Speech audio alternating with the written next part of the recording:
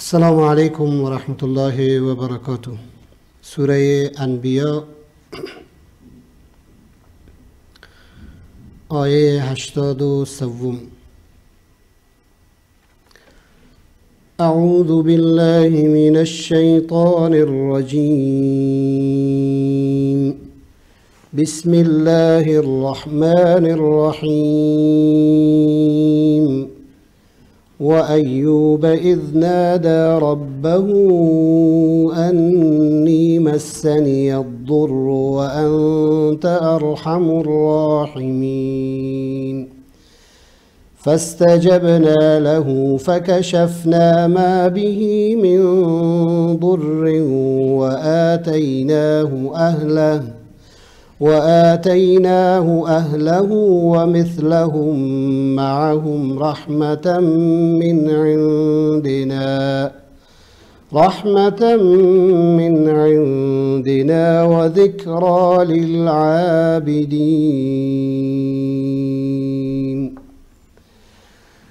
اللهم صل على محمد وعلى آل محمد كما صليت على إبراهيم وعلى آل إبراهيم إنك حميد مجيد. اللهم بارك على محمد وعلى آل محمد كما باركت على إبراهيم وعلى آل إبراهيم إنك حميد مجيد. يا رب لك الحمد كما ينبغي لجلال وجهك وعظيم سلطانك. در آخرین روزها و آخرین ساعات ماه مبارک رمضان در عواسط دهه اخیر ماه مبارک رمضان در حالی که بیست و چند روز از رمضان گذشته داستان ایوب علیه السلام امروز الله می‌خوانیم. ایوب علیه السلام که در بین همه به نام ایوب صبور مشهوره ایوبی که بیشتر از دیگرها صبر کرده. هرچند انبیا علیهم السلام همه صبور بودند صبر همه زیاده اما از جایی که هر انسان به یک بخش و هر پیغمبر به یک بخش شهرت بیشتر میابه ایوب صبور از این نام بیشتر برخوردار شده نسبت به انبیای گذشته. و نکته دیگه هم اینه در داستان ایوب علیه السلام که صبر ایوب صبر ملموس و واضحه. معمولا ما انسان ها مریضی ها رو می‌بینیم دست و پا شکستگی ها رو می‌بینیم گم شدن و دور شدن اولاد و زن و فرزند رو می‌بینیم. و در نتیجه کسانی که در مقابل این رقم حوادث صبر می‌کنن بیشتر به دید ما میآیند. تا انسان هایی که در مقابل چیزهای صبر می‌کنن که گاهن به مراتب زحمتی و بیشتر از اینا هست. به هر حال ممکن هم هست و بعض از مفسرین همین میگن که امکان داره به عنوان مثال صبر موسی علیه السلام یا صبر ابراهیم علیه السلام و از همه مهمتر صبر محمد مصطفی علیه السلام از ایوب هم بیشتر باشه. اما در همه جانب خاص که به اساس مریضی مشکلی که ایوب علیه السلام با او دچار شد و هرگز بی صبری از او سر نزد و همیشه سپاسگزار پروردگار و صابر بود در مقابل مشکل. از این نظر شاید ایوب علیه السلام جایگاه امتیازی داره. خوشبختانه یا متاسفانه این داستان در روزهای ما و شما می‌خوانیم که بعد از یک مدت طولانی هنوز هم در معرض خطر و تهدید شدید مریضی کرونا قرار داریم. تعداد از عزیزان ما مبتلا شدند. بعضی از عزیزان خود از دست دادیم و همه ما هم به نوع در معرض خطر قرار داریم. هرچند مثل همیشه ما تکرار می‌کنم که این مریضی هنوز هم که هنوز الحمدلله به لطف و رحمت پروردگار دامن ملت ما زیاد نگرفته و تا حد زیاد الحمدلله نسبت به سایر کشورها ما و شما در امانیم. اما از او جایی که ما از هر طرف دیگه تلفات انسانی زیاده داریم مشکلات زیاده داریم که دیگه کشورها باز از این خبر ندارن حالا یک مشکل کوچک هم یا در یک پیمانه کوچک هم می‌تونه برای ما و شما خیلی سنگین بشه. ابو رقمی که واقعا سنگین شده. حالا بیایم باید ببینیم که آیا ما چه درس های در این روزهای مبارک از ایوب صبور گرفته می‌تونیم. خلاصه کلام اینه که ایوب صبور به مریضی بسیار سخت دچار شد. چه کار کرد؟ آیا در مقابل ای جزا و فضا کرد؟ آیا در مقابل ای ناسپاسی پروردگار کرد؟ آیا والعیاذ بالله از الله پیش مخلوق شکایت کرد؟ کاری که ایوب علیه السلام کرد دقیقا همون کاری که ما شما در مقابل مریضی ها در مقابل مشکلات و انواع مصیبت هایی که بر ما می‌رسه باید انجام بدیم. نکته دیگه که در رابطه با صبر هم هست خوبه در همینجا اشاره بکنم قبلا هم ذکر شد ما سه نوع صبر داریم. یک صبر بر طاعات یا عبادت ها به این که اصلا فراموش نکنید خود صبر گرفتن زندانی کردن یا حبس کردن نفس میگن. همین که نفس یک کار رو می‌خواه انجام بده و جلو رو بگیریم و کنترل بکنیم در حقیقت ما صبر کردیم. حالا اگر خواسته باشیم به طور خلاصه دستبندی بکنیم به سه بخش میشه. یکی صبر بر طاعات یا عبادات. به چی معنا؟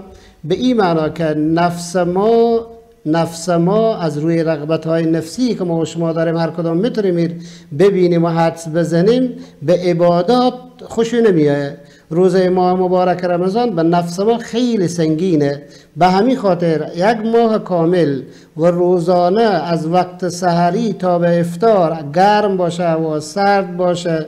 و گرسنه باشیم تشنه باشیم چیکار می‌کنیم هیچی نمی‌خوریم و نفس خود کنترل می‌کنیم هر لحظه دست ما بالای بوتل آب امکان بره داره بره و ما تشنه هم باشیم یک نوشیدنی به دسترس باشه و ما ضرورت هم بود داشته باشیم اما بالای نفس قدم می‌گذاریم و به دسترسی پیدا نمی‌کنیم نزدیک نمیشیم. حالا حمیر میگن حمیر میگن صبر. صبر بر عبادت یا صبر بر طاعت. و از این نظر اگر نگاه بکنیم ماه مبارک رمضان ماه صبر گفته شده و روزه ماه مبارک رمضان خود ای به ذات خود نماد از یک صبر قوی در انسان های حالا به این رقم نماز هم هست. عنوان مثال وقت نماز شیطان وسوسه می‌کنه نفس ما ما ری طرف و طرف می‌بره و ما چیکار می‌کنیم؟ بر نماز خود استوار میمانیم.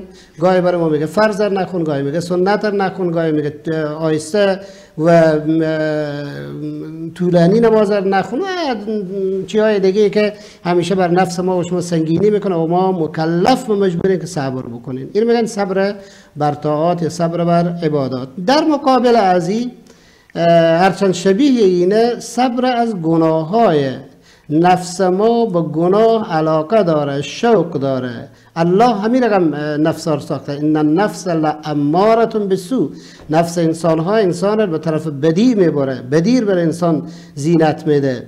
و شیطان هم دست بکار زین للناس حب الشهوات من النساء والبنين والقناطير المقنطره الى آخر نعمت های دنیایی اینا رو تبدیل می‌کنه برای ما به یک مصیبت و به یک معصیت و یک گناه. و حتی گاهن به درجه پیش میره این وسوسه های نفسانی که یک چیز پاک و پاکیزه خوبر در ذهن ما بد نشون میده و در نتیجه گرایش به چیز بد و زشت و به نوع مزرم می‌کنه. جهان تا اندازه که من خبر دارم البته وقتی میگم جهان دانشمندان غربی بیشتر مراد مرن تا دانشمندان اسلامی اسم مسلمان ها کاملا واضحه. جهان به همین باور رسیده که شراب کم و زیاد او مزره و بالفرض اگه ضرر نداشته باشه هم فایده خو هرگز نداره. اما ببینیم مصرف شراب روزانه در سطح جهان چقدر هر چند بکشه و هر چند مریض بکنه نفس انسان ها به طرف تمایل داره. افراد معتاد در دور بر خود ما می‌بینیم. متاسفانه اینا چیز غیر از امون نفس نیه. یک چیز زشت و بدر آمده بونا زیبا جلوه داده و در نتیجه دست رزی می‌کنن. انسان های متعهل که الله متعال همسران نیک و زیبا به اونا عنایت کرده و نزدیکی و مباشرت با اونا نبی علیه السلام به ذات خود ثواب بر اینا فرمودن و ثواب صدقه کار نیکه می‌بینیم نفس به اونا جلوه میده که از این راه حلال به نوعی دوری بکنن و برن دنبال حرامای بیمعنایی که گاهی اونا رو مبتلا به ایدز می‌کنه و گاهی مبتلا به خیلی مریضای دیگه و آبرو و عزت هم از اونا می‌گیره. اما این نفس به اون طرف انسان ها میکشونه. حالا صبر کردن از گناه به این معنا که به طرف گناه نرفتن این هم یک نوع صبر و واقعا هم کار سخت و دشواره و هر کس هر کس نمی‌تونه از کنار ای بالاخره به آسانی بگذره و مشکل و الله متعال اگر ما انسان ها کمک بکنه می‌تونیم در این صبر پیروز بشیم در غیر از او سخته. اما یک صبر مشهور دیگه یا نوع سوم صبر که همه با او آشناییم صبر در مقابل مصیبت های هر چند مصیبت خرد باشه یا کلان باشه. از مصیبت های مثل از دست دادن زن و فرزند و اولاد و خانواده گرفته تا کم از دست دادن یک چیز خود. مریض شدن. یک تکلیف عادی بر انسان پیدا شدن. یک تشویش بر انسان به وجود آمدن. حالا همین کرونا که ما گفتیم که تقریبا همین گفته میشه که همه انسان ها نمی‌گیره یک طیف خاص رو می‌گیره و اونایی هم که می‌گیره 80 فیصد هیچ نوع امکان داره نمیفهم اعراض و علائم نداشته باشن. اصلا خبر نمیشن و فیصدی مرگ میری هم خیلی پایین نسبت به خیلی از مریضی های دیگه نسبت به خیلی از حوادث که ما روزانه ده ها و صدها نفر در کشور عزیز از دست میدیم. اما با وجود ای هم تبدیل به یک مصیبت شده برای تمام ملت برای تمام جامعه. خصوصا برای او کسانی که خود اونا یا از عزیز از عزیزان اونا به این مریضی مبتلا شده و به نوع در اذیت و آزار به صبر می‌بره صبر از مصیبت. وقتی بر انسان مصیبت می‌رسه نفس انسان خوش داره که سرصدا بکنه جزا و فضا بکنه قیق بکشه دور برخ چیزای خراب بکنه بشکنه به زمین و آسمون بزنه گپای بی جای بزنه. اینجا که صبر میگن که این نفر می کار می‌کنه؟ کنترل می‌کنه. نفسر مشت خو می‌گیره. مثل که ما به عنوان مثال یک پرنده رو بگم یا خزنده رو بگم یا حیوان رو دست خو می‌گیریم و کنترل میشه این طرف طرف نره نفس ما هم همین رقم یک چیزه. هر لحظه ما این طرف این طرف خور بزن رو کنترل می‌گیریم دست و پا خور به اختیار نمی‌گذاریم چشم و گوش و به اصطلاح زبان خور به دست رو نمیدیم و در نتیجه او کنترل می‌کنیم تا مار خدای نکده به طرف بیراهن نبره. این میگن صبر در مقابل مصیبت ها هر نوع مصیبت باشه. طوری که از آیات قرآن مجید و احادیث نبی علیه السلام و چیزی که ما تا حال در داستان انبیا خوندیم و از بعد هم می‌خونیم معلوم میشه اینه که هر سه نوع صبر کردن در انبیا علیه السلام به شکل قوی وجود داشته. نمونه در درسای گذشته خوندیم و در آینده هم انشاءالله می‌خونیم اما به او قوتی که صبر در مقابل مریضی در ایوب علیه السلام بوده شاید به این مریضی پیغمبر از پیغمبران دیگه مبتلا نشدن و به خاطر مقام امتیازی دارن ایوب علیه السلام.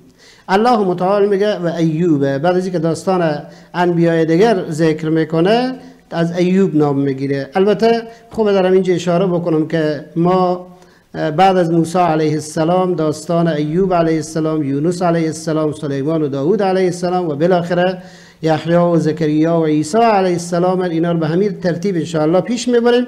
اما این ترتیب به معنای اینیه که قطعا از نظر زمانی همین رقمه که بعد از موسی علیه السلام ایوب علیه السلام بودن و باز یونس علیه السلام و داود و سلیمان. چنین چیزی از قرآن مجید از احادیث نبی علیه السلام به طور قطع فهمیده نمیشه. ممکنه همین رقم ترتیب باشه و ممکنه پس و پیش باشن این انبیا در بین خود خصوصا ایوب و یونس و سلیمان و داود. امکان داره همین رقم باشه. اما به هر حال قطعی نیه. و ایران فراموش نکنیم که بعد از موسی علیه السلام پیامبران زیاد آمدن و اونا در این چهار نفر خلاصه نمیشن. و تعداد در قرآن مجید ذکر شده که تفصیل اینا تا اندازه آمده مثل سیدنا سلیمان علیه السلام تعداد نام از اونا گرفته شده تعداد در احادیث ذکر اونا آمده. به هر حال اینا نمونه هایی که ما به اساس کمی وقت و به اساس ای که به آخر ماه مبارک رمضان رسیدیم فقط اشارات به اینا می‌کنیم و از پرداختن به داستان همه انبیا علیهم السلام معذوریم و فراموش نکنید که اصلا خود درس تفسیر به این معنا این قرار نیه که یک برنامه شامل و کامل باشه و به نوع ما رو اشباع بکنه و ما سیر بشیم از درس تفسیر و از داستان انبیا و به همین اکتفا بکنین. بلکه روزانه یک ساعت در خدمت شما حاضر شدن. فقط به خاطر اینه که ما بفهمیم که انبیا علیهم السلام داستان اینا در قرآن و در حدیث ذکر شده و هر کلمه از اینا می‌تونه برای ما درس و پند و نصیحت باشه و چی سخت ما محتاجیم که این داستان ها همیشه و همیشه ورد داشته باشیم و از اینا استفاده بکنیم. از جمله امروز هم داستان ایوب علیه السلام. الله متعال میگه و ایوب یاد کن ایوب علیه السلام را اذ نادا ربه آن زمانی که پروردگار خود را ندا کرد دعا کرد چی گفت؟ انی مسنی الضر ای پروردگار ضرر بر من رسیده رنج و مشکل و مشقت بر من رسیده و انت ارحم الراحمین و تو بهترین مهربانانی. رحم رحم کننده ترین رحم کنندگانی مهربان ترین تونی ای پروردگار. حالا چکار شد؟ فاستجبنا له ما دعای او را اجابت کردیم. فکشفنا ما به من در و دور کردیم. از او ضرر که به او رسیده بود. و آتیناه اهله و مثلهم معهم و دادیم ما به او خانواده او و مثل او به همراهشان و این رحمت از جانب ما بود و پندی بود برای عبادت گذاران این بود به طور خلاصه آیاتی که در رابطه با ایوب علیه السلام در سوره انبیا آمده آیات کمی در رابطه با ایوب علیه السلام آمده اما نکات بسیار آموزنده بر ما و خصوصا در این روزها داره. و این خاطر به یک درس خاص گذاشتیم. اولا ایوب علیه السلام چیزی که از قرآن هم معلوم میشه و چیزی که از روایات و تفاسیر معلوم میشه. حتی از روایات اسرائیلی معلوم میشه. او اینه که ایوب علیه السلام هرگز پیش کسی شکایت نکرد. هرگز جزا و فضع نکرد. هرگز فریاد نکشید. هرگز برای علاج درد خود پیش هر کس و ناکس نرفت و هرگز غیر از صبوری در حضور الله کار دیگر پیشه نکرد. اولا ادب ایوب علیه السلام که ما سخت نیازمند ی ادبیم. ادب با الله. اصلا خود ادب به ذات خود چیز مهمیه. ادبری ربی فاحسن تعدیبی نبی علیه السلام میگن پروردگار من مر ادب کرد و چی نیک ادب کرد. نبی علیه السلام معدبترین انسان هایند انبیا علیهم السلام با ادبترین انسان هایند و در بین امتی ها هر کسی که ادبی زیاد باشه در حقیقت به انبیا علیهم السلام نزدیکتره. که من خوب همینجا اشاره بکنم که بی ادب بی ادب هرگز نه در نزد الله و نه در نزد مخلوق الله به جای نمی‌رسه. حالا بالاترین ادب ادب با الله. با الله چی رقم ما با ادب باشیم؟ بعدا بیایم با نبی علیه السلام ادب ما با قرآن رقم باشه؟ ادب ما با نماز و روزه و مسجد و شعائر دینی چی رقم باشه؟ از این که بیایم پایینتر ادب ما با حکام مسلمان چی رقم باشه ادب ما با پدر و مادر ما با اساتید ما چی رقم باشه ادب ما با فرزندان ما با همسر ما و بالاخره ادب ما با خانواده و اقوام ما و بالاخره ادب ما با کل مسلمان ها و در دایره کلانتر ادب ما با انسانیت چی رقم باشه حتی بعضی بالاتر میگن ادب ما با حیوانات و ادب ما با محیط زیست و اطراف ما چی رقم باشه خب خلاصه کلامی که در اینجا میگم حالا فرصت نیه در رابطه با ادب صحبت بکنم. خلاصه کلام اینه که ادب در همه این میادین که گفتیم از ادب با الله گرفته تا ادب حتی با محیط زیست انسان و مؤمن و مسلمان معدب ترین انسان ها باید باشه. و بهترین الگو نبی علیه السلام هرگز به زبان مبارک ناسزا نمی آیه. گپ زشت نمی آیه. فوش ندادن. جواب دشنام را با دشنام ندادن. و به حد این نبی علیه السلام با ادب بودن که امت خود فرماندن که شما مثلا خروس دشنام ندین. شما چهارپار دشمن دشنام ندین. شما به عنوان مثال بادر لعنت نکنین. یا این پدیده های طبیعی شما لعنت نکنین. دشنام ندین. و این ادب نبی علیه السلام و چی خوبه که من در اینجا اشاره بکنم که عبادت هایی که بر ما لازم شده چی فرائض باشن چی سنت ها و نوافل اینا اصلا همه به خاطر همین آمدن که ادب ما رو تقویه بکنن. و یا تعبیر دیگه ادب در حقیقت ثمره و میوه همین عباداته. اما ای که چقدر ماه رمضان و روزه رمضان ما رو با ادب کرده یا نکرده روزهای آخر رمضان خوبه که هر کدام ما از خود امتحان بگیریم. اگر ادب ما زیاد شد همون مراحل که گفتم از ادب با الله گرفته تا با ادب با اطرافیان و همه چیز. اگر با ادب تر شدیم اگر زبان ما زبان نیکتر شده اگر برخورد ما انسانی تر شده رمضان بر ما تأثیر گذاشته. اما ای که شنیده میشه که فلانی در وقت افتار فلانی در وقت سحر فلانی در آن بروزه یک یک خیلی ببخشن از او یک حیوان درست میشه یک انسان دیوانه درست میشه به هیچ چیز نمی‌فهمه به در دیوار می‌زنه. او والعیاذ بالله روزه نداره و فقط از خورد و نوش جلوگیری کرده. او روزه جای نمی‌گیره. نبی علیه السلام هرگز کسر دشنام ندادن. نبی علیه السلام به زبان مبارک خود هرگز گپ زش نیاوردن. نبی علیه السلام همیشه قبل از همه مردم خرد و بزرگ سلام می‌کردن نبی علیه السلام بهترین انسان و بهترین مرد در خانه خود با همسران خود بودند. نبی علیه السلام بهترین رفیق با یاران خود بودند. نبی علیه السلام بهترین ادب با الله داشتند. حالا که از ایوب علیه السلام صحبت می‌کنیم یک ادب در اینجا ذکر می‌کنم. ادب با الله. انی مسنی الضر ای پروردگار به ما ضرر رسیده مریضی رسیده رنج و مشکل و مشقت رسیده این چی لگم ما ادب بیزی پیدا بکنین ادب انبیا علیهم السلام که قبلا هم در داستان ابراهیم علیه السلام یاد ما در اونجا گفتیم انبیا علیهم السلام بدی و مریضی و مشکل و مصیبت به الله نسبت نمیدن. نمیگه ای الله تو مر مریض کردی تو فرزند مر گرفتی تو اهل مر گرفتی تو تو تو. نه. در کار خیر بله تو مهربان ترین انسانایی تو به ما زندگی دادی تو به ما قدرت دادی تو به ما تمکین دادی. نمونه که ما در داستانهای گذشته خواندیم. اما وقتی به مشکل میایه او رو دیگه باز به الله نسبت نمیدن به شیطان نسبت میدن چون شیطان باعث این کارهای یا به خود خود نسبت میدن. پس در نتیجه در اینجا ایوب علیه السلام میگه مسنی دور ضرر برم رسیده. هرچند معنا همونه که تو رسوندی ضرر اما مستقیم چنین سخن ایوب علیه السلام به زبان نمیاره. نکته دیگه در اینجا دور آمده دور یک کلمه عامه می‌تونه همه رنجا و مشکلات شامل بشه. اما اون چیزی که از تفاسیر معلوم میشه همون رقم که گفتیم اینه که مریضی سخت به ایوب علیه السلام رسیده. خب و انت ارحم الراحمین و تو مهربان ترین مهربانان. بهترین بالاترین قوی ترین مهربانی از الله. رحم پروردگار چقدره؟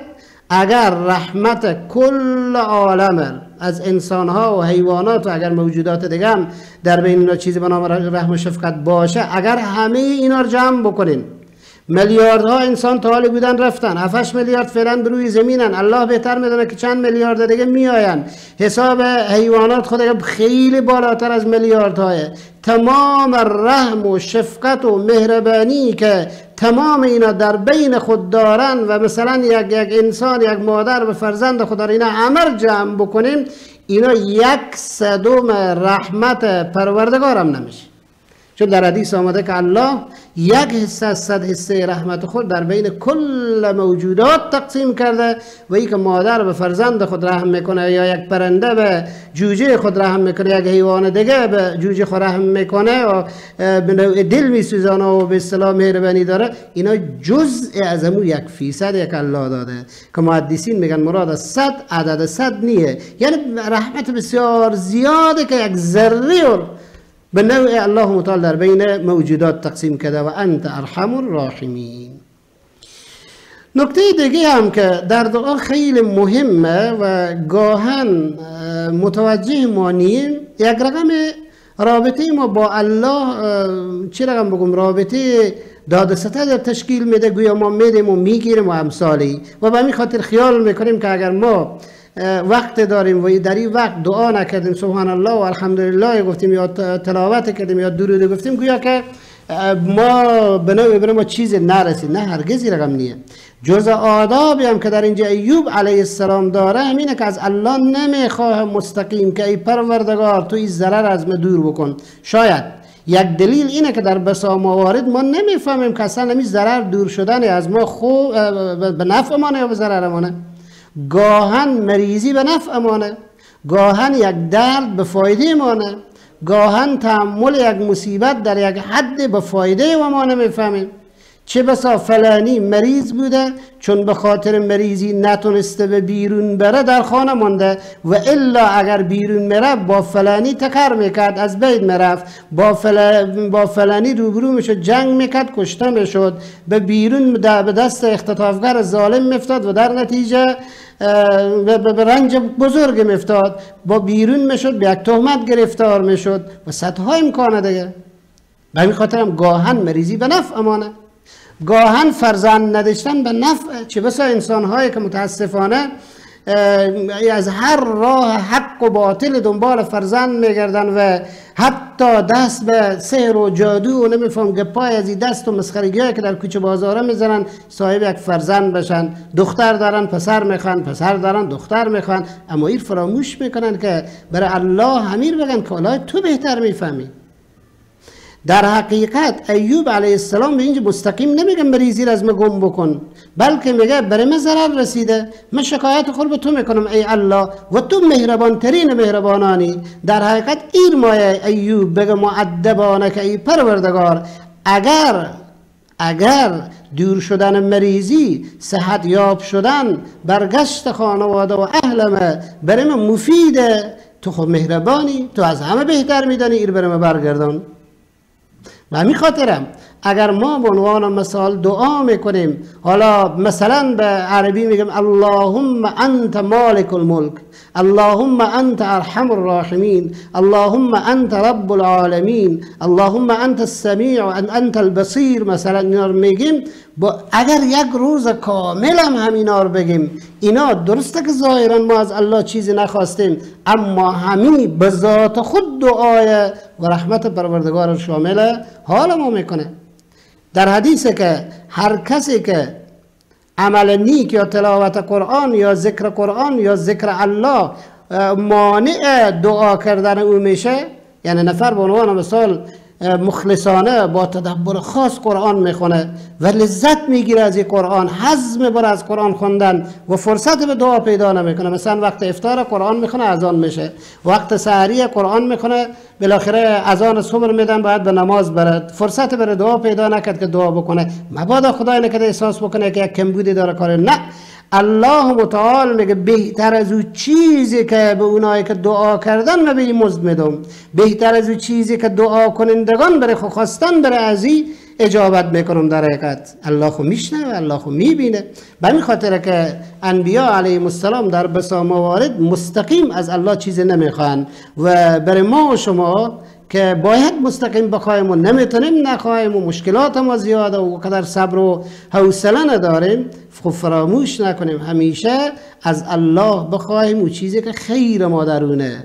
ما نمی‌فهمیم گاهی وقتا صاحب موتر شدن به خیر ما نیه صاحب اولاد شدن به نفع ما نیه. چه بسا انسان هایی که از هر در زدن که به نوع خود خود صاحب فرزند بکنن و این بزرگترین مشکل تصور کردن اما همون فرزندی که اینا سالها منتظر بودن همون تبدیل شد به یک بلا و مصیبت به اونا. ما نمی‌فهمیم. الله بهتر می‌دونه چی به خیر ما نه. ما ظاهر که زیر می‌بینیم. ما امروز فقط می‌بینیم. در دعای استخاره که یک روز دیگه هم خدمت شما عزیزان عرض کردم که هر کسی ما یک کار را انجام بده البته به شرط کار فرض واجب نباشه و از طرف کار حرام نباشه کار عادی ما به سفر بره ما ازدواج بکنه ما خرید و فروش را انجام بده ما به یک جای خونه بگیره خونه بخره خونه تیار بکنه کار خورد یا کلانه و نمی‌فهمم مشوره خور کرده فکر خور کرده حالا نمیفهم که به نفع یا به ضرر یانه چرا؟ چون ما خو امروز می‌بینیم فردار خبر نداره نفر خواسته با فلان دختر ازدواج بکنی دختر دختر خیلی نیکه. خود تا امروز ای که فردای نمی‌فهمه. خیلی نیکه به ظاهر نیکه. ای که در, در باطن چی رقمه نمی‌فهمه. و برعکس یک پسر همی رقم. دختری پسر نمی‌شناسه. بهترین توصیه که برای جوانا در یک قضیه هست اینه که علاوه بر که مشوره خور می‌کنن و از این طرفی طرف معلومات می‌کنن علم آوری خور به شکل دقیق انجام میدن فراموش نکنن که تمام این معلوماتی که دختر یا پسر به دست میارن اینا همه ظاهریه. باطن الله می‌دونه. یک نکته دیگه تمام این معلومات تا امروز فردار باز الله می‌دونه که دختر چیکار میشه و این پسر چیکار میشه. چی بس انسان های بد خوب شدن و انسان های خوب بد شدن. حالا چیکار می‌کنن؟ دو رکعت نماز پیامبر علیه السلام برای ما یاد دادن. بخونیم دو رکعت نماز نفت در هر وقتی که باشه غیر از ایام مک... اوقات مکروه. بعدا دعا می‌کنن اللهم انی استخیرک بعلمک و استقدرک بقدرتک الی آخر. و خلاصه همینه پروردگار.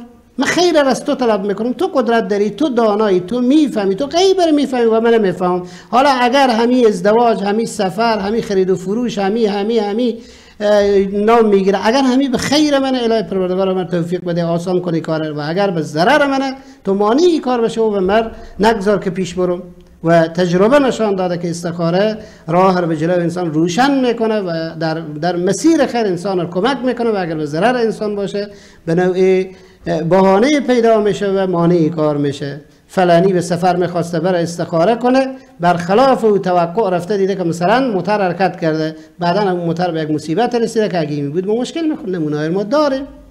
یا در قضایای دیگه که البته اگر استخاره کردیم و اگر از الله کمک خواستیم و الله برای ما به نوع یک راه روشن کرد دیگه باز لازم نیه دو دله باشیم. حتما خیر ما در امینه. هرچند به ظاهر ما در او ضرر و تاوان ببینیم. پس به هر حال ما به خیر خود نمی‌فهمیم. ایوب علیه السلام میگه برای من ضرر رسیده و تو مهربان ترین مهربانایی. حالا اگر لازم می‌بینه پروردگار به نفع منه به مصلحت منه این ضرر از دور بکن و اگر نیه که خیر من در همینه و ما به همین رقم باشم بهتره برم. تو به تو به عنوان یک مهربان ایر برم صلاح دیدی ای پروردگار. ما در روز ما گپ ندارم ماه مبارک رمضانه.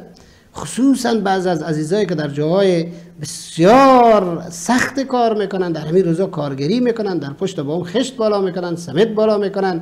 عزیزانی که در نونویا کار می‌کنن و گاهن اینا ساعتهای کری اینا زیاده در دشتا در صحراها نگهبانی میدن به خاطر امنیت کار می‌کنن. اینا گپ خورد نیه رنج دارن زحمت دارن. یک تعداد سهری درست ندارن که زیاد هم هست در ایام که متاسفانه بیکاری بیداد می‌کنه. همه اینا هست. همه اینا هست.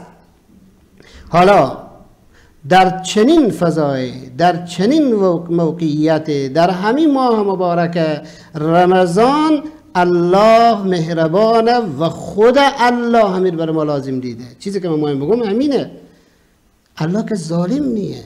الله که از ما انتقام نمی‌گیره. این روزه و این گرسنگی حتما به فایده مانه حتما فایده های داره.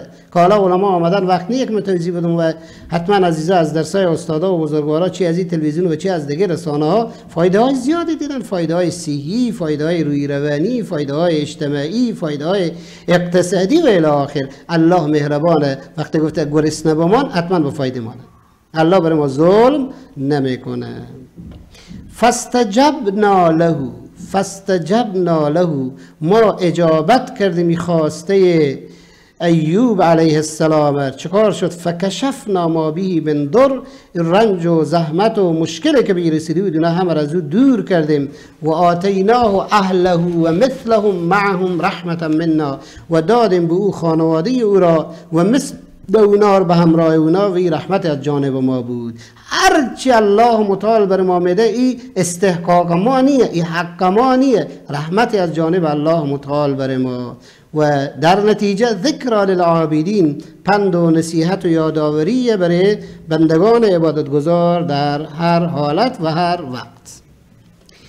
قرآن مجید در, در این آیات که خوندیم و همچنین منتقل میشیم به سوره صاد در آیه 41 اینجا باز می‌بینیم که ذکر از وضعیت مریضی ایوب علیه السلام که چی بوده و چه کار بوده و مشکل چی بوده نشده. بعدا انشاءالله توضیح میدم. در اینجا الله متعال میگه آیه 41 سوره صاد وذکر عبدنا ایوب یاد کن ببینید یاد کن که در قرآن مجید میآیه مراد اینه که ما بگیم ایوب ایوب ایوب ایوب. مراد اینیه که داستان از ایوب بگیم و برخ خوشیم؟ نه. یک چیزی که الله میگه یاد کن یعنی چی؟ یعنی یاد کن و از این درس بگیر از پیغمبر یاد کن و از این درس بگیر و سرمشق زندگی خود قرار بده. از فرعون و از ظالما و از, از بنی اسرائیل و اینا که قبلا گفتیم یاد کن و اعمال اونا رو تکرار نکن. خوبی از یک قوم در قرآن آمده او رو یاد کن. اجرا کن. بدی آماده او رو یاد کن و دیگه او تکرار نکن. یادآوری بمیمانه محض محض یادآوری خب فایده نداره یادآوری که به او عمل نفته نباشه. مثل قضیه شکر نعمت. تا سال نفر شکر شکر شکر شکر. خودم نمی‌فهمی چیه. شکر نعمت یعنی چی؟ یعنی همین نعمت در راه که الله خوش داره رضیه همین نعمت صرف کردن. نعمت ای دست نعوذ بالله اگر بزنی سیلی به یک یتیم بزنی یا یک کارگر بیچاره بزنی یا یک, بیچاره ضعیف مستضعف بزنی با سیلی بزنی باز بعضی شکر الحمدلله دستم قویه نعوذ بالله. چی شکره؟ شکر یعنی این نعمت در راه که الله گفته از این نعمت کار گرفتن از زبان در راه الله از چشم در راه الله از گوش در راه الله از دست و پا در راه الله از پول و سرمایه در راه الله از قد و قواره و زیبایی و قوت و طاقت در راه الله از قوم و قبیله و خانواده در راه الله از جایگاه اجتماعی در راه الله از جایگاه اقتصادی در راه الله از جایگاه سیاسی در راه الله در راه الله در راه الله. اگر استفاده شد این میگن شکر نعمت. و الا به زبان شکر شکر شکر شکر. جالبه که بعضی میگن شکر الحمدلله چند سال میشه من می اداره کار می‌کنم. تا حال مر کسی نگرفته. نگرفته یعنی خیانت کردم. رشوت خوردم من نگرفته. این شکر داره. ها شکر داره. در صورتی که پنج سال ده سال 20 سال نمیفهمیدم. حال الله متعال توبه نصیب مکرد مر بفهمون و حال توبه کردم. این حق به حقدار و پس مسترد کردم. حالا میگه شکر الحمدلله. بالکل چقدر خوشبختن اونایی که توبه می‌کنن. باید شکر این به جا بیارن که الله توفیق توبه نصیب نکرد چقدر خوشبختن انسان هایی که میرن پیش یک نفر دیگه از اشتباهی که کردن معذرت خواهی می‌کنن. اینا باید شکر پروردگار به جا بیارن. نفر زکات مال خور ادا کرده باید شکر الله. الله تو برم توفیق دادی و زکات خور بدم اگه نه که من نمی‌دادم. همین خاطر فراموش نکنین در ماه مبارک رمضان زکات ها خور مردم میدن. و گپ خوبی هم از خیرات زیاد میشه. مبادا نعوذ بالله به ذهن ما. این رقم که استگه که به خدا اشاره کن که خدا باز میفهمیده که ما خود ما هم خود بعضی به زبان خونه میگن که یک اشاره دارن حق دارن از خدا. گویا اینا رو به اصطلاح خود اینا پیدا کردن و از خود اینا و حال خدا نعوذ بالله از اینا به زور می‌گیرن خدا رو ممنون. نه نه نه مال خدایه. خدا برای تو داده گفته از یک لکه که برای تو دادم دو نیم هزار فقط پس بده. او هم به کی بده؟ او هم به کاکا ماما عمه همسایه قوم و خیش و کارگر که خودتو کار می‌کنه و بیچاره که اطراف بهمونه بده. بیشتر زکات خو همینه و او هم درسته تو به بچه عمه خود زکات میدی و بچه ماما خود زکات میدی. و ظاهرا به او فایده رسوندی خو یاد تو باشه غیر مستقیم فایده پس به خود تو هم برسه. جامعه اگر کم از نظر وضعیت اقتصادی خوب باشه سرمایه‌دار هم فایده می‌کنه. اگر زکات به شکل صحیح داده بشه اگر خیرات هم منظم داده بشه باور بکنین دزدی هم کم میشه. نمیگم از بین میره کم میشه اختطاف کم میشه از بین میره فساد و بدبختی کم میشه رشوت و گناه های از دست کم میشه اگر از بینم نره. پس زکاتی که این نفر داده غیر مستقیم فایده به خود هم می‌رسه. خب حالا الله میگه برای تو یک لک دادم دونی مزار بده او هم به جای که فایده به خود تو باز می‌رسه بس تو به سر خدا منت می‌گذاری نوز بالله. اگر کسی زکات مال خود ادا کرد کامل داد برابر داد بیشتر از اون چیزی که الله گفته خوب داد بعدا باید چکار بکنه؟ شکر الله الحمدلله. الهی پروردگارا به من توفیق دادیم زکات خور بدم. من توفیق دادیم خیرات بدم. من توفیق دادی به یک یتیم و بیوزن کمک بکنم. به حج که مغرور نمیره که از اون طرف ورگش حالا دیگه اگر حجی صاحب نگن به بکس بدن نفر می‌زنه. اگر حجی صاحب نگن دیگه خود نفر قطع رابطه می‌کنه. جالب! برای حاجی صاحب فلانی نگفته دیگه به مسجد نمیره. استغفر الله بر به فلان جا حاجی صاحب صدا نکنه نه برعکس. از روز اول که قرعه تو به شکل قانونی و رسمی بالا می از همون زمان شکر شو الحمدلله. مرد تو لایق کدی که کعبه تو رو ببینم مرد لایق ای کدی به جای قدم بگذارم که نبی علیه السلام قدم گذاشتن. بعدن که حرکت می‌کنه. بعدن که چهار قدم پیش میره. به محضی که به مکه معظمه رسید اولین گپ وقت شکر الحمدلله. تو برای من نصیب کردی. به مدینه منوره رفت شکر الحمدلله. باز که ورگش الحمدلله که تو توفیق یک حج نصیب مکردی دیگه غرور نداره من این رقم رفتم من ایت کردم من این رقم شدم. باز به هر جا بونه بگیری بیا که اکثر از حج بگه. مردم از چوب می‌پرسن این تخته تو خب آ ما که به حج بودم به کعبه شریف دور کعبه که طواف می‌کنم اونجا تخته مقام ابراهیم بچم چی رقم. از سنگ هم که میگم یک سر میگن از حج خوب بگه. از کوچه و بازار هم اگر میگن از گیرونی و ارزونی یک سر باید یک رقم به خورد مردم بده که ما به حج رفتم و به حج رفتم و به حج رفتم. خودی هم جلوی نم خو حجی بنویسه دیگران باید حجی بنویسن. آره بعضی کسا با همین نام حجی مشهور شدن رو بحث سوایه. اما نفر دیگه افتخار نداره. حج رفتی وظیفه تو بوده باید می‌رفتی. الله برای تو پول داده. یک بخش از تو خواسته به حج رفتی. و عینش روزه گرفتی. ما و شما در شما چی؟ الحمدلله.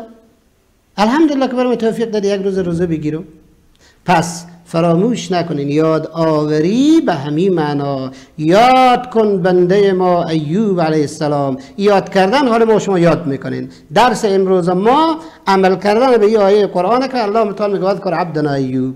خب حالا چی رقم یاد کن؟ اذ نادا ربه. آن زمان که پروردگار خور ندا کرد. ایوب علیه السلام. انی مسنی الشیطان.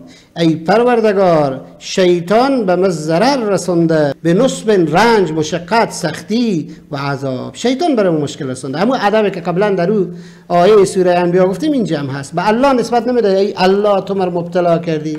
نه. برای من بیرقم ضرر رسیده. شیطان برای من بیرقم یک مصیبت وارد کرده. حالا به طور خلاصه در این جمع الله متعال نگفته که حضرت ایوب علیه السلام چی مشکل داشت چی رنج و مشقت داشت. اما آیه بعدی از این معلوم میشه که دو مشکل عمده برای ایوب علیه السلام رسید. یک در وجود خود مشکل پیدا کرد مریض شد و دوم در خاندان خود تاوان دید. تا همین حد در قرآن مجید آماده. اما ای که واقعیت چی رقم چیزه؟ حالا برمیگردیم به تفاصیل. چیزی که اتفاقیه چیزی که صحیحه درسته انشاءالله او اینه که ایوب علیه السلام به مریضی بسیار سخت دوچار شد و این مریضی بسیار طولانی شد. حالا باز تفاصیل اگر گفتن 15 سال 16 سال هر چی که از بیشتر کمتر برای خیلی شدید بود. خیلی طولانی بود و به حد بود که هیچ کس در کنار ایوب علیه السلام نموند غیر از همسره غیر از زنه که به خوب همینجا یک اشاره هم بکنم. عزیزانی که قصد ازدواج دارن یک گپ عمده ای که باید یاد بگیرن چی زن و چی مرد از این همیر در نظر بگیرن. زن گرفتن یا شوهر گرفتن صرف برای چهار روز نمزاد بازی و بعضی برای چهار روز عروسی نیه. این زن میمونه این شوهر میمونه عمر اینا در کنار همن. اینا با مشکل اقتصادی می‌خورن اینا با مشکل امنیتی می‌خورن. اینا خدای نکرده فرزند مریض بگیر اینا میایه شاید خدای نکرده خانواده های اینا با هم درگیر بشن. مریضی های امکان داره مزمن و صعب العلاج به سراغ اینا بیایه زن بگیر که در کنار تو در تمام اینا بست. او زن صالحه.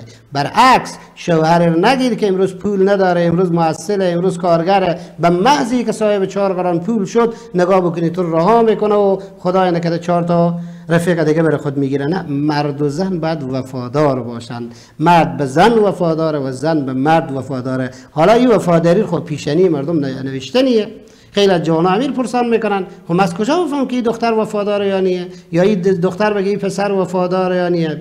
درسته پیشنی انسان نوشتنیه درسته که در علوم انسانی گاه گاه اشتباه هم رخ میده و فلانیر که ما وفادار خیال می‌کردین او بعدا بی وفا به در میشه. اما قدر هم نامعلوم نیه. از نظر خانواده ها اگر نگاه بکنیم تأثیر به سزای داره. نوع برخورد و نوعی که این دختر چرا تو پسند کرده یا این پسر چرا تو دختر رو پسند کرده به چی چیزی عاشق شده چیر دیده و یا برعکس تو چرا به خاطر به خاطر چی می ازدواج بکنی؟ همه اینا رو که به کنار هم بگذاریم جواب ما خوب واضح و کامل میده. و جزء بهترین نعمت ها در دنیا یک زن وفادار برای مرد و برعکس یک مرد وفادار برای زن. ایوب علیه السلام همسر در کناریو میمونه مشکلات رو تحمل می‌کنه. حالا دیگه از این بیشتر از این بیشتر میشه اسرائیلیات. از این بشه بیشتر بیشتر از این اسرائیلیات که اسرائیلیات یا راسته یا دروغه بعض از اسرائیلیات خو تقریبا علما اتفاق دارن که دروغه و اینه که نمیفهم ایوب علیه السلام به حد مریض شد و بوی گرفته بود و باشقالی انداختن و چه کار نه نه خب با با شأن انبیا علیه السلام در تکره و علما میگن که انبیا علیه السلام به امراض منفره یعنی امراضی که مردم را از اونا مورد نفرت مردم بشه اونا رو مبتلا نمی‌کنه چرا که در روسیه با دعوت پیش نمیره. اما بعض از اسرائیلیات دیگه که آمده تقریبا اتفاق دارن علما و می‌تونه صحیح باشه در که گفتم مریضی طولانی بود مریضی سختی بود مثلا مثل جزام بود همه دور شدن. بالاخره بگین یا نگین هرچند مردم خوبم باشن صبر نه بالاخره یک روزی بالاخره صبر لبریز میشن نمی‌تونن دیگه صبر بکنن. و خوبه که ایرم خصوصا اساسایی که مریضن در بستر مریضی یا مشکل دارن ایران بفهمم دیگه. به هر توقع خور بالا نبرن که فلانی حتما برای یک مدت طولانی هر روز بعد از من خبر بگیره. خود خب نمی‌تونه مشکل داره هر کس زندگی خور داره. به هر حال مریضی سخت و شدیدی بود که الله متعال برای ایوب علیه السلام آورد و به مبتلا کرد. همه از کنار دور شدن غیر از همسر که دور نشد. حالا معنای مشهوری که اهل و خاندان را از دست داد مفسرین میگن همینه. اما یک نظر دیگه هم هست که نه اصلا ابتلا و آزمایش ایوب دو چیز بود. هم خدا او مریض کرد و هم خدا خانواده را از او گرفت. هم فرزندان مردن از بین رفتن و هم الله او مریض کرد و چقدر سخته از دو طرف آدم مریض میشه. تفسیر اولی بود که نه ایوب علیه السلام مریض شد و همین مریضی باعث شد که اطرافیان از او دور بشن غیر از همسر او. تفسیر دیگه ای شد که نه الله متعال هم اولادی را از او گرفت و هم او به مریضی سخت مبتلا کرد. به هر حال چیزی که مهمه اینه که ایوب علیه السلام سخت و مشکل بود. سالها صبر کرد. و بعض از مفسرین گفتن در اینجا که شیطان ذکر شده اینه که در حقیقت ایوب علیه السلام ما به الله بگه که پروردگار. من مشکل به این ندارم که این مریضی رو تحمل بکنم و بالاخره با این مریضی رنج در در بکشم. اما تشویش دیگه هست که شیطان از راه مریضی به دنبال گمراه کردن ما و زن منش و در تفاسیر هم آمده که زن ایوب علیه السلام زن نهایت نیکی بود و به خاطر علاج ایوب علیه السلام می‌خواست گناهی را انجام بده. به نیه شاید باشه شاید نباشه. به هر حال چیزی که مهمه اینه که ایوب علیه السلام به دربار پروردگار رجوع می‌کنه. و این تقریبا تفاسیر همه بی متفقن که ایوب علیه السلام شکایت خود پیش هیچ کسی نکرد. درس عمده که الله میگه وذکر عبدنا ایوب امینه. ایوب چه کار کرد که ما او یاد بکنیم؟ اذ نادا ربه هر چی میشه پروردگار. الله الله الله. یعقوب علیه السلام چی گفت وقت فرزندی و فرزندان از او دور شدن؟ انما اشکو بثی و حزنی الله. همه به الله خوش شکایت می‌کنم. نبی علیه السلام به طائف رفتن مشکلات و مشکلات های زیادی از اون مردم دیدن. بعدا چی گفتن؟ ای پروردگار شکایت رو پیش تو می‌کنم. مرجع رسیدگی به شکایات بر انسان مؤمن فقط الله به الله شکایت خور پیش می‌کنن نه به اطرافیان. دو رقمه یک شکایت به پیش الله که خیلی خوبه.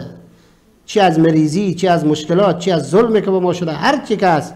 که من یک بار قبلا هم گفتم دوباره هم تکرار می‌کنم. نشه نشه نشه همیال سر وقته که کسی نیمه شب در این ماه مبارک رمضان و خصوصا در این شبهای مبارک که احتمال شب در این شبها هست خدا نکرده بیدار بشه و دست بالا کنه و از ما به الله شکایت کنه.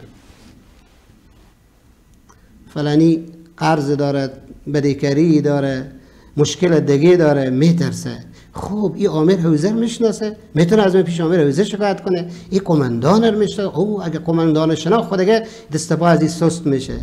اگر بازی کسی بود که فلان وکیل شناخت از طریق اون می‌تونست به مراجع بالاتر بره خی آدم اگر ده هزار کنه یک لکم میده. خطرناک شکایت می‌کنه. شکایت رسیدگی میشه. اینا خب چیزای عدیه حالا گیریم که حاکم بگیره چه کار می‌کنه قاضی جزا بده چه کار می‌کنه. ای, ای کماندان چه کار کرده می‌تونه؟ اب شکایت رو بترس که به حضور الله می‌کنن از ما. و او روز هم گفتیم که اتق دعوت المظلوم. از دعوت و دعا و نفرین مظلوم بترس که لیس بینه و بین الله حجاب پرده نیه. از او شکایت بترس. وای به حال بیچارهایی که در این شبهای مبارک او پیرزن و او پیرمرد و او جوان و او انسان عابد و عبادت گذار روزدار دست بالا می‌کنه و از ای به الله شکایت می‌کنه. ای الله فلانی مرزد ای الله فلانی به ظلم کرد ای الله فلانی حق مر خورد ای الله فلانی مر برم توهین کرد ای الله فلانی ابرو مر ای الله فلانی مر ذلیل و خار کرد. و الی آخر شکایت های زیادی که در جامعه ما هست. بترسین از اونایی که شکایت خور به الله میگن. نترسین از اونایی که شکایت خور به دنیا میگن. اونایی که شکایت خور به دنیا میگن اگر به حقم باشن خب یک سزای دنیوی می‌بینین چهار روز ما رو بندی می‌کنن چهار روز می‌زنن ده تاش الله خورده. خلاص میشه بالاخره. زمینی که وسیله و واسطه و خیلی گپ گفتا دیگه به دنیا امکان داره به چله قضیه اشتباه بکنه قماندان اشتباه بکنه. انسان هاین و چیزهای دیگه تاثیر بکنه. اما بترس بترس از اون شکایتی که به حضور الله میشه و او الله که علام الغیوب علیم بذات الصدوره او الله وعده کرده که حق انسان ها از انسان می‌گیره. هر چند انسان خوبی هم باشه حق مردم رو باید ادا بکنه. پس شکایت به حضور الله. شکایت برای الله نه پیش بندگان الله. و از همه خطرناکتر باز متاسفانه شکایت از خدا به پیش مخلوقه ما چون خدا چریت می‌کنه؟ ما چون خدا چری رقم کرده؟ نمیفهم خدا دیوار از دیوار پینتر از دیوار مرگ پای از است که ولایاز بالله ایمان انسان رو چکه چکه می‌کنه. ایوب علیه السلام چه کار کرد؟ ما قرار درس بگیریم. روز اول ما گفته بودم که این آیات رو ما می‌خوایم که درس بگیریم. بیایم تعهد بکنیم که غیر از الله دیگه به هیچ دروازه شکایت کنه نبریم. عریض خود به الله می‌کنیم. مگر های دنیایی در حدی که بالاخره حق خود از, از ظالم می‌گیریم آخر اما پیش بنده شکایت خدا رو دیگه نمی‌کنید. اگر مریضی اگر مشکل اگر غم هر چی که از شکایت مو پیش الله. اذ نادا ربه. حالا در اینجا ربم آماده. به جان فلانی و به سر فلانی و به شیخ فلانی و به امام چندم. نه نه نه نعوذ بالله. فقط الله. اذ نادا ربه. ربنا ربنا ربی ربی.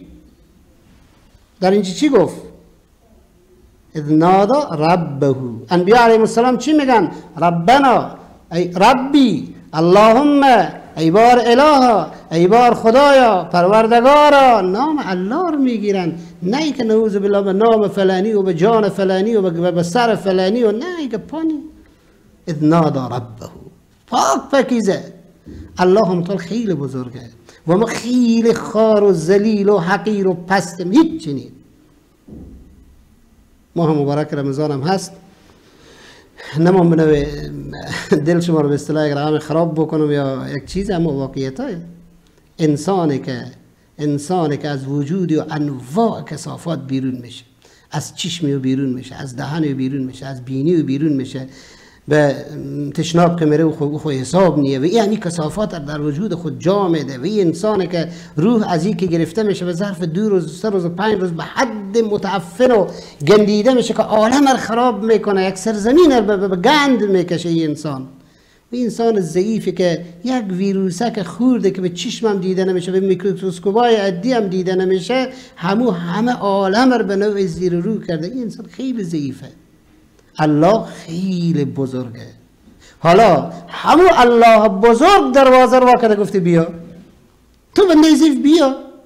در بزن هر وقتی که می در بزن به نه که از من اجازه بگی نه وای همیشه. هر دمی که دل تو ماه بیا. هیچ انسان با عالم امکان نداره دروازه شب و روز و روز رخصتی و روز کاری و زمستون تابستون وا باشه. دروازه الله همیشه همیشه هر وقت دل تو دعا بکن هر وقت دل تو ماه قرآن بکن هر وقت دل تو ماه درود بکن هر وقت دل تو ماه ذکر الله رو بکن. هیچ وقتی دروازه بسته و بالاترین ذکر تلاوت قرآن وی کلام الله خدا الله گپ می‌زنه. پس وقتی این دروازه وایه دروازه های دیگه دیگه نرو دروازه اصلی واه تو رو پیش رو می‌بره. میشنوه. نبی علیه السلام همین نگفتن شما پروردگار نوز بالله کر و کور خود صدا نمی میشنوه الله. اذ نادا ربه. انی مسنی الشیطان. اگر معنای مسنی الشیطان همو باشه که من قبلا گفتم که خود مریضی به ذات خود خطرناک نیه اما شیطان می‌تونه از وارد بشه باز یک درس مهمه برای ما و شما داره. اوی چیه؟ و او اینه که مریضی که برای ما و شما میایه گاهن اگر صبر بکنیم به نفع امان درجه می‌گیریم. اما اگر خدا که بی صبری صورت گرفت باز همین مریضی سبب هلاکت و تبعی میشه. همون رقمی که گفتم کرونا خیلی از عزیزان ما آسیب دیدن مریض دارن خود اینا مریض شدن و مشکلات دیگه روبرو شدن. حالا اینا خوب شد بر از اینا یا بد شد؟ تعداد صبر کردن خوش به حال اینا. اگر از دنیا رفتن ان درجه شهید می‌گیرن و این مریضی که کشیدن کفاره گناه اگر صبر کردن و از این مریضی پاک بیرون شدن الحمدلله هم سالمن و هم در این دوران از امتحان بزرگ کامیاب بدر شدن و این برای از اینا نعمته. اما اگر بی صبری کردن اگر شیطان از این را وارد شد و اینا رو به گناه وادش و در این صورت ای مریضی برای تبعی اگر بمردن من به حال الله بهتر می‌دونه چی وضعیت دارن. فلانی مریض شده هرس زیاد شده.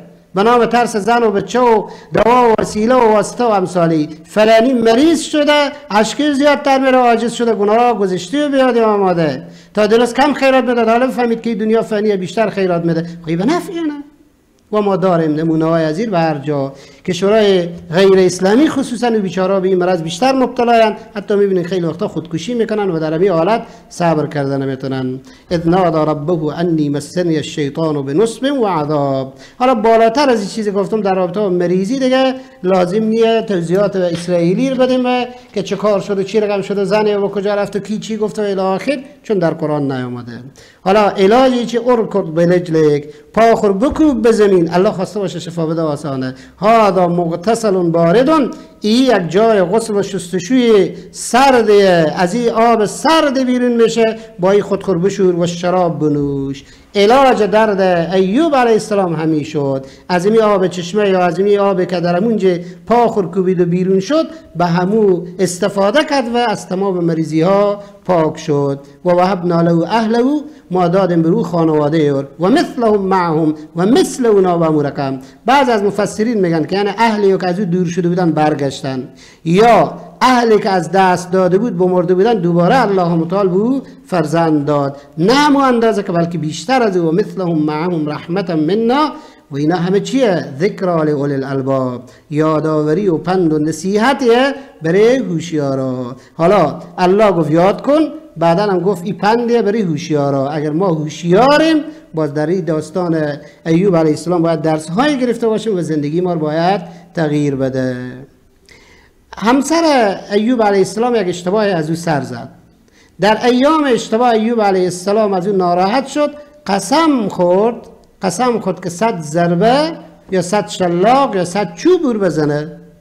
و این قسم باید ایوب علیه السلام حانس هم نشه و از طرف او زن اگر چه اشتباه کرده به اصطلاح مستحق چنین جزای سنگینی نیه. حالا الله متعال برای یاد میده که از یک طرف ایوب حانس نشه و از طرف دیگه به زن ظلم نشه میگه به خود بیاده که ضغطن بگیر به دست خود یک, یک بنچه چوبه یا بالاخره یک دسته که در چی آماده که صد که خور در با هم بگیر مثل صد تا سخ جارو مثلا.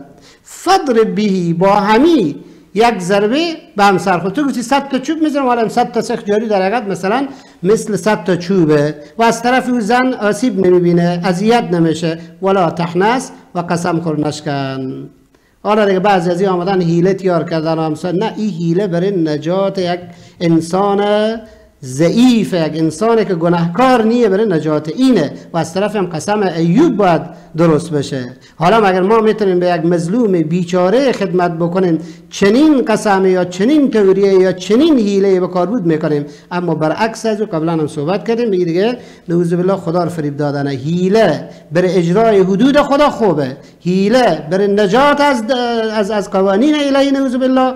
حرام و نادرسته. انا وجدناه صابرا. ما ایوب علیه السلام صبور یافتیم. اینه دیگه کامیابی مهر کامیابی خورد. ایوب صبوره.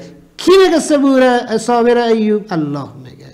الله میگه. ایوب صبر کرد کامیاب شد. نعم العبد بهترین بنده. چه بنده اینی که انه اواب بسیار توبه کننده و بازگشت کننده به الله متعال بود. الله متعال همه ما و شما را از مصیبت ها و مشکلات نجات بده. الله متعال رنج و مریضی را از همه دور بگردانه. همین کسایی که همی الان مریضن خصوصا در بستر کرونا افتادن الله متعال شفای عاجل و شفای کامل غیبی نصیب همه بگردانه. ما و شما را همیشه از مریضی ها در امان داشته باشه. اما اگر مریضی به سراغ ما آمد. الله متعال توان تحمل او و صبر نصیب ما بکنه و به گونه باشیم که علاج فقط از الله بخواهیم و خدای نکرده بی صبری نکنیم. و السلام علیکم و رحمت الله و برکاته.